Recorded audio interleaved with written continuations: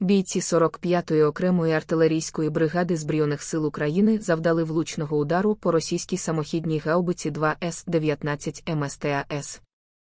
Відео оприлюднили 7 травня сухопутні війська Збройних сил України.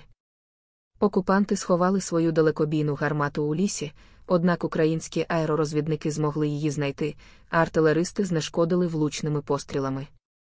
Дякую за перегляд. Ставте лайк, коментуйте, підписуйтесь на канал.